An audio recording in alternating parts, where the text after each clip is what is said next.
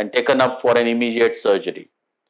So the time for us to do all this should be less than half an hour to one minute because the more you delay, the more it takes time for the patient to get diagnosed, the more the brain damage happens. We should be aware that along with the brain injuries, there are displaced fractures of the spine.